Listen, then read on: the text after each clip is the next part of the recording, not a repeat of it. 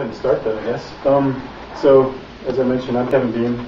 Um, I, for a long time, I did like uh, the Java thing for a really long time, and uh, for the past year, I've been doing uh, mostly Ruby on Rails stuff. I dabbled in a few other things, um, but one of the apps that I built, um, we had an API for it, a RESTful API, and it was like my first, um, you know, Ruby on Rails based uh, RESTful API, and um, so I kind of struggled through that, and and then I built a, another two, two, more apps um, where I also built a RESTful API, and so I kind of just wanted to like just talk informally about stuff that I found out, um, stuff that I thought was interesting about um, uh, RESTful APIs in the whole Rails ecosystem, and a lot of this stuff will apply not just to Rails, so so don't don't think that just because I'm talking about Rails, it's only applies to Rails. I mean, you can you can apply some of the same versioning techniques to other uh, web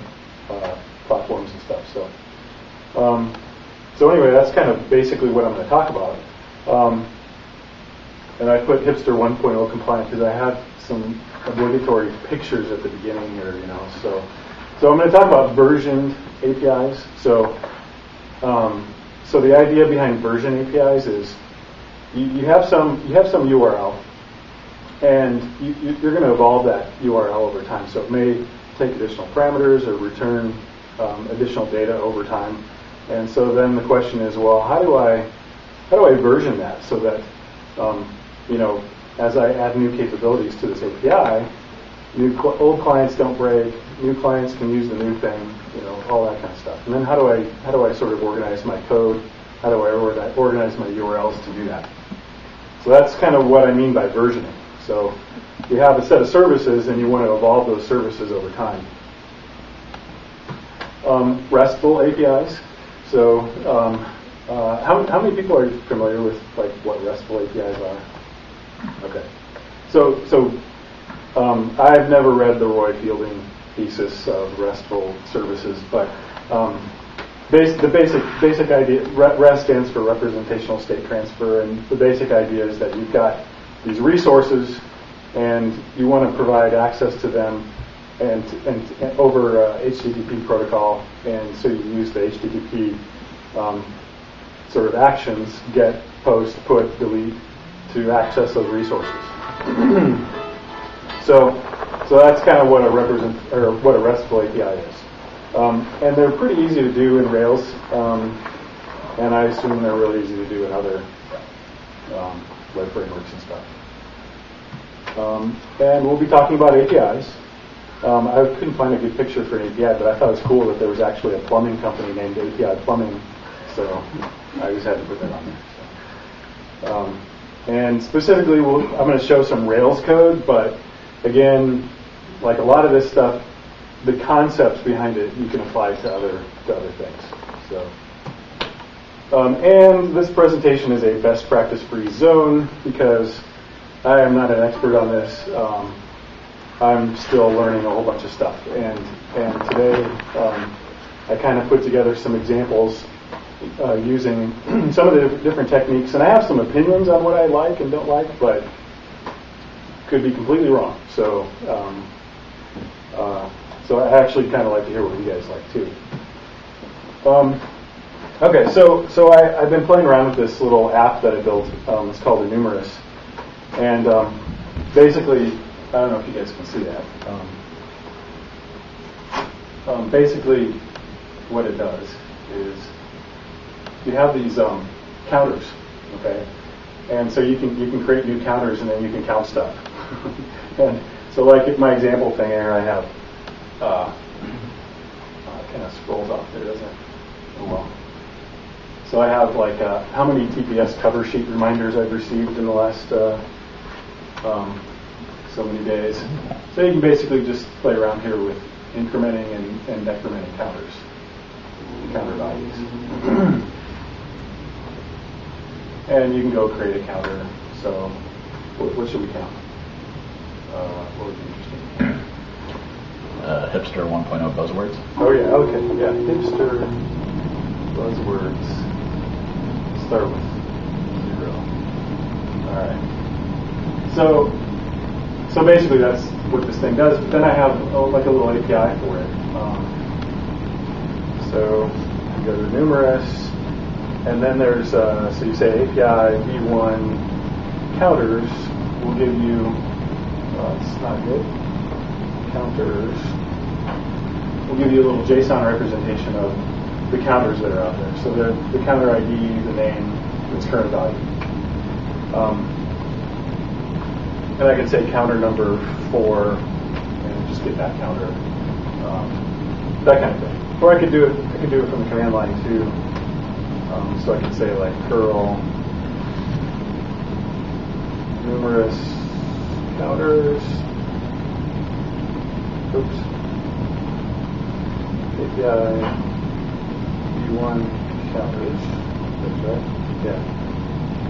Or counter number four. I don't know if you guys can see that. I can.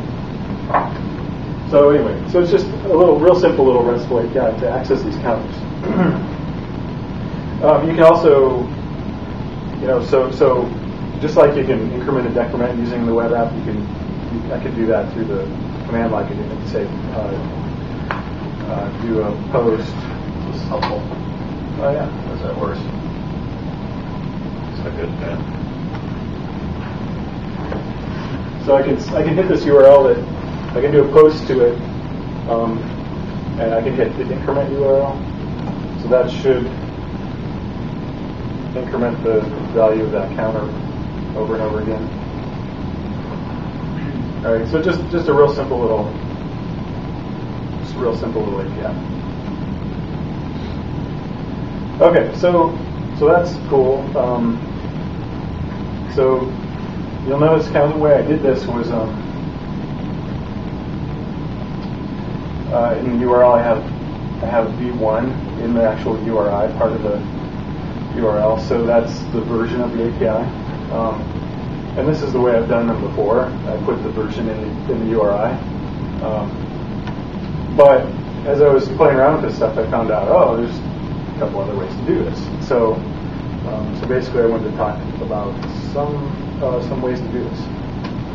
Um, oh, so yeah, here's the here's the API. So you do a, get to API v1 counters, you get all the counters. You do a get to counters slash ID, you get a particular counter. You can create a counter with the third one, delete a counter, and then increment or decrement. So that's just a simple sort of sort of toy API.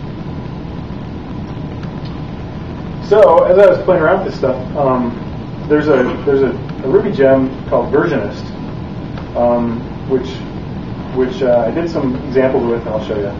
Um, but oh, I need to.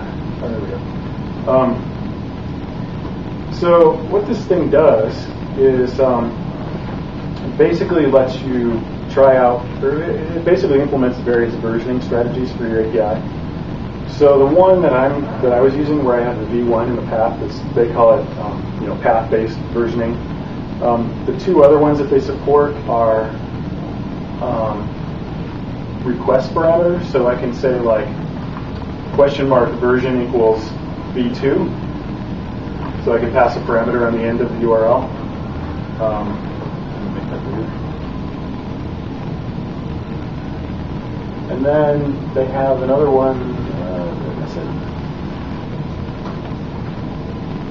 oh yeah. So this is the one that I didn't really know about anything about. Um, so it's, it's a header-based one where you basically pass in an accept header. The client, when it calls the API, passes in an accept header, and then so you have a custom uh, header value there, and then you pass in the version along with that. And so it's not part of the URI at all.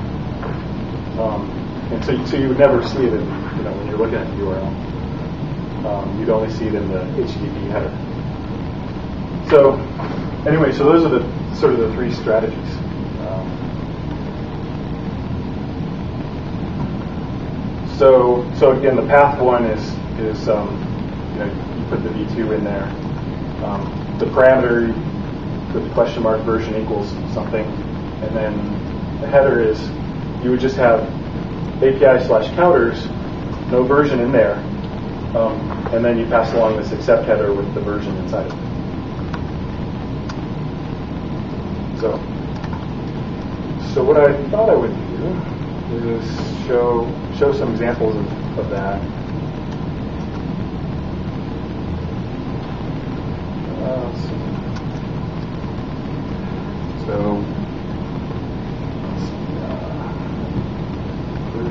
we'll put a path first.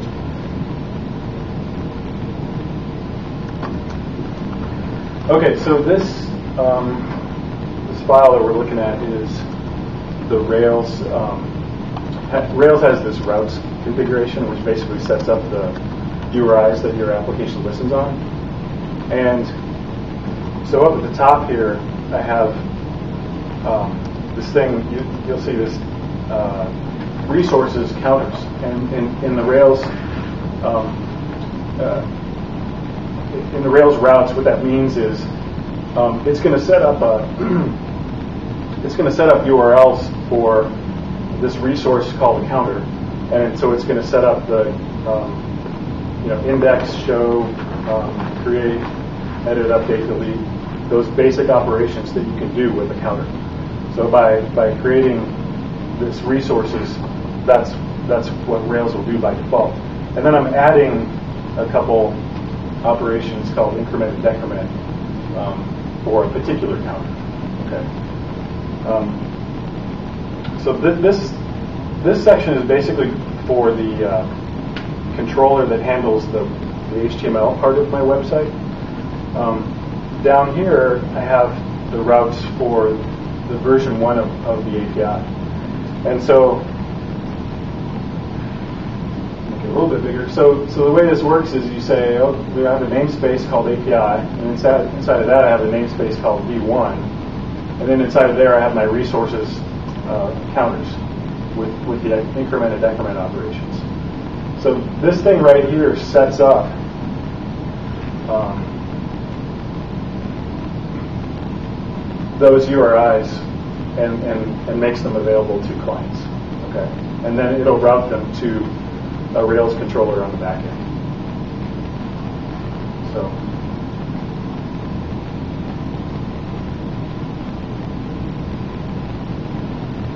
Um, so that's so this is sort of doing it by hand. Um, so you know this is if you're not using you know any any Ruby gems to do any magic for you, this is how you do it. So what I did was I made a version two of the API using this versionist gem, and so it has this kind of really simple um, uh, domain-specific language kind of thing, where you basically say, "Hey, I'm going to create a new API version," and um, you can ignore the module thing. That's just a Rubyism. Um, but the path is API v2. That's the, on the front of the URI path, and um, and then inside of that I have my resources. Um, so it's really not that much different than you know what I did up here. Um, instead of instead of creating two namespaces, um, all, all, it saved me was just um, making this API version method call. So for the path routing, this is you know, pretty pretty trivial. It's not not a big difference. Um, so restart the Rails server.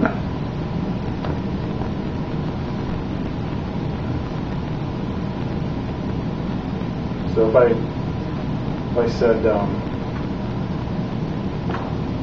localhost 3000 API v1 counters,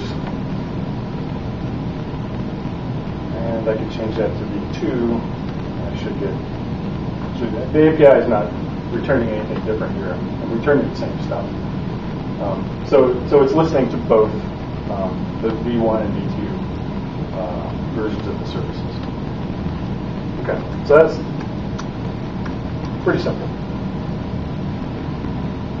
So we'll look at the next one, which is um, version, let's see, uh, view parameter.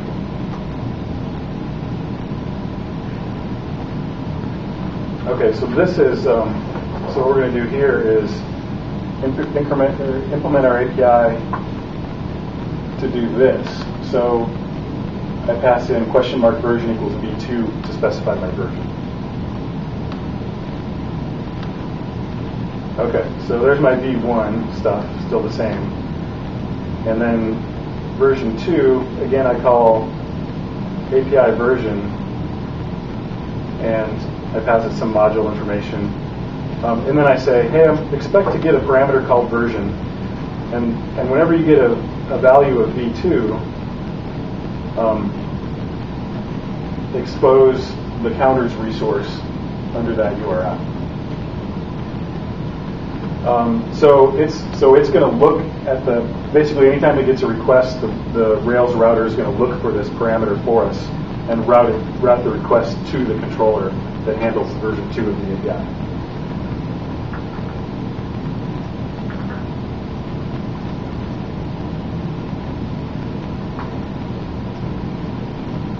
So we say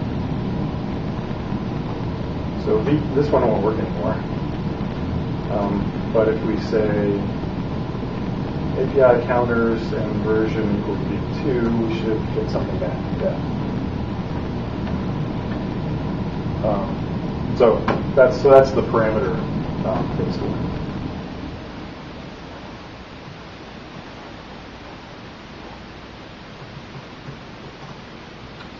Check out uh. And then the last one is the header one.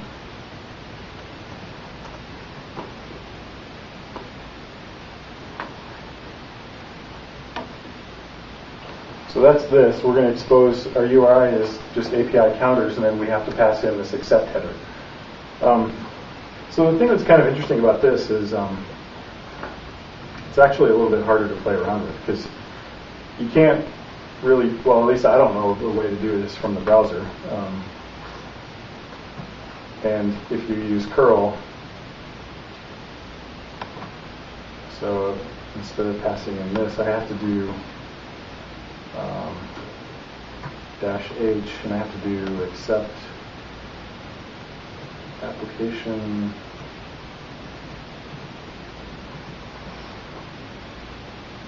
This will work. Oh. No. How does that work? Can you go into Safari and tell WebKit to send extra headers? on the web? How do you do Yeah, that? did they how to do that? You can do it with Firefox extension, Yeah. Which has extensions for Chrome too. You can also specify headers in, in like jQuery, XHR requests, right? Yeah, I think you probably can, yeah. So, okay, so there's, yeah, I don't know what I, sure what I did wrong there. Oh, it was a different one. Okay, so I, so I called the increment. So that's, that's calling the increment API. Um, so, okay, so when I was reading about this, um, there was a, uh, there was a Hacker News thread, and I have the link on here. Um, I don't know, I'll post this somewhere, but um, there was a Hacker News thread, and somebody basically said, "Hey, I'm making this, you know, RESTful API. What do you guys think about how how to version this thing?" And so there's a whole, you know, a whole big argument about all these different methods. And somebody said, "Oh, you should put the version. You should use the path method. You should put the version in the URI." Other people said, "No, that's horrible." Their argument was that you should never have the version in the URI. The URI should always remain the same and that the um, the header should specify which version you want, so that the URI is constant, um, and so that whenever you want to access a particular resource, the URI is always the same, and you pass a header that specifies which version of that you want. Why is that a good thing? They, I don't know this. They they thought it was it was better that the URI was um, to to clients was always the same.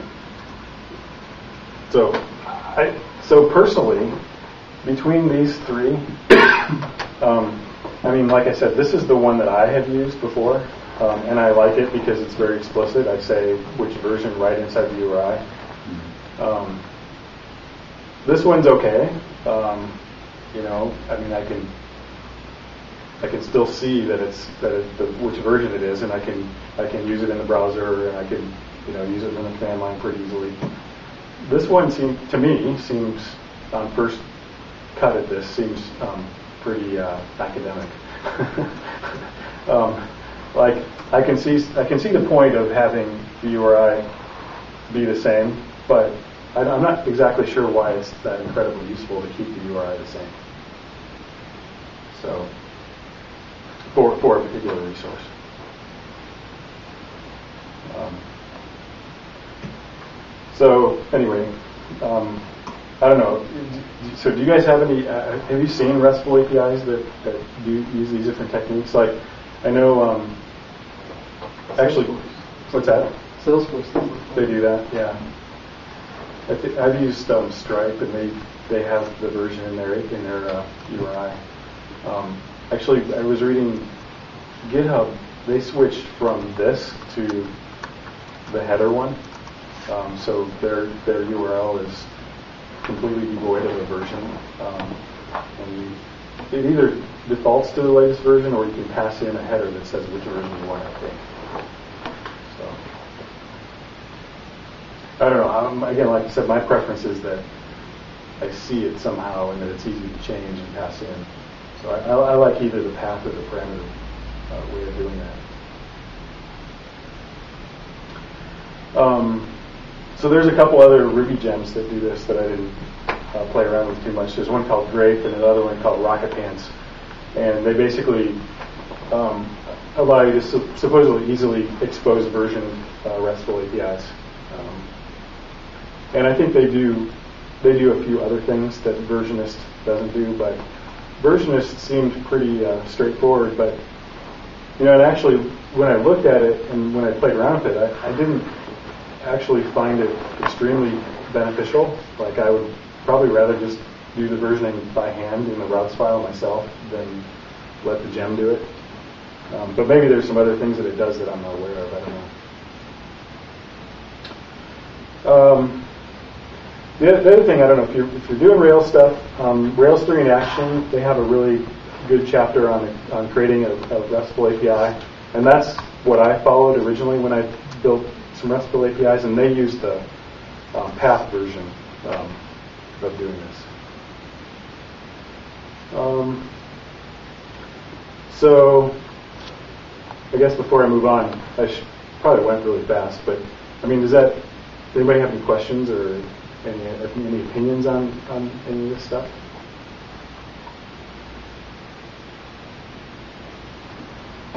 Is that repo in GitHub? Um, yeah. Um, I was going to poke around in your controllers a bit because I don't know anything about Rails controllers. yep. Um,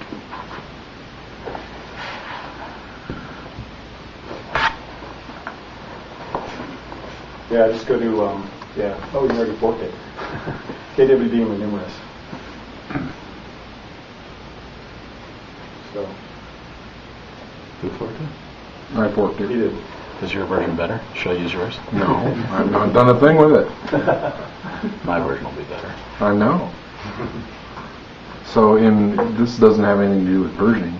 In Rails, have you um, sent a large amount of data up to a RESTful API? No, Like- actually, I haven't. But I actually have an app that I'm about to work on where I may. If you want to like post pictures into a RESTful API or something? Yeah. I no, I've never done that. But there's one. There's an app that I'm going to work on that is going to have a relatively large amount of data. So I'll I'll find out. Do you- I mean, do you have any? No, I'm, Oh. I'm curious about that. Okay. Like binary kinds of data? Yeah, because like when I tried to get it to accept something other than JSON, Hmm. you know, foobar, I had trouble. But I don't know anything about Rails. Yeah. So. Hmm.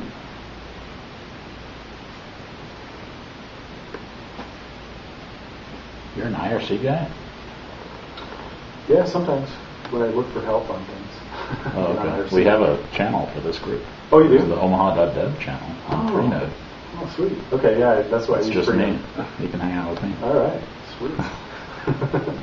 His website says he's an IRC guy. Um, oh, so this is just not particular to to the RESTful API, but some things I was going to try was was well, this part is, but I was going to try to build the API in Sinatra because I don't know you you use Sinatra, right? Yep. So, like, as I, when I, where I started out was I was building this Rails app that had like a, a regular web a web front end to it, right?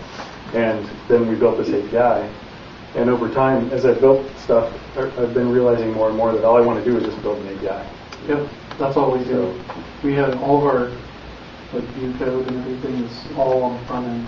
Okay. Uh, with Dojo, and then you just essentially hit the, use RESTful RS and Sinatra to talk to the database to save and retrieve Okay. data. Yeah.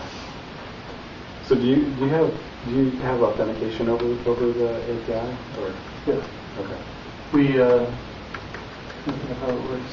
But, um, yeah, it, it hits a route with, with the, um, the credentials in, as a, in, a, in the header.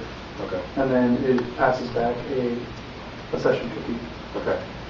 And then that cookie value you just gets sent on all the API On all- calls. yeah. Yeah. Cool. I'm not sure if we're doing it the correct way. Well, actually, you know, um, the reason I was asking was because I, I haven't watched this yet, but um, on Railscast he talks about he has one called uh, Securing an API, I think.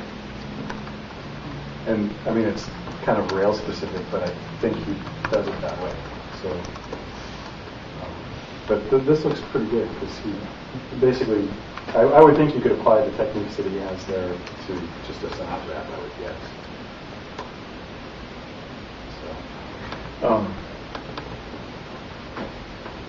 and then I was going to try Node.js too, because I just think it'd be fun to build like the whole the whole thing in JavaScript.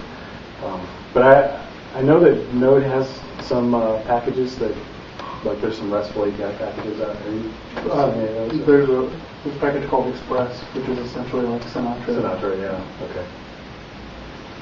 So, and um, so the last thing I had was uh, this enumerous thing is just completely a toy side project. It's on GitHub, um, like I said, and um, so there's a whole bunch of things I want to play with.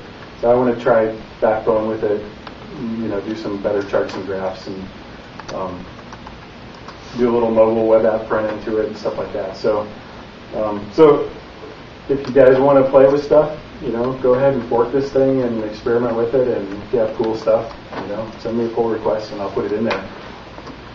I'm hosting it on on one of my Linode instances. So, uh, you know, if you have if you have something you want to put up there, and um, I'd be happy to happy to put it up. So, anyway, that's about it. Cool.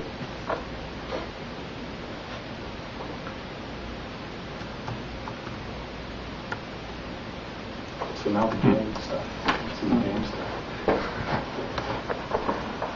Cool. Hey, thank you. Yep.